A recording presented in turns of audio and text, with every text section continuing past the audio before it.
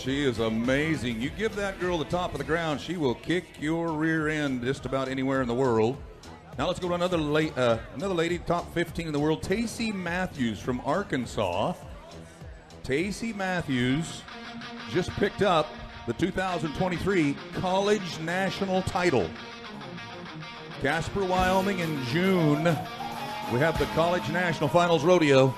This is the young lady that holds that title now. Good luck.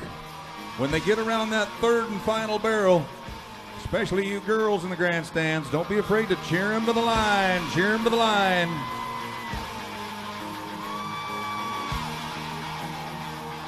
At a girl, at a girl. Get ready, girls. One, two, three, go.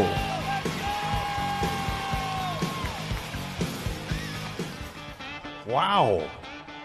16 and 15 100s. That is tight, tight, tight.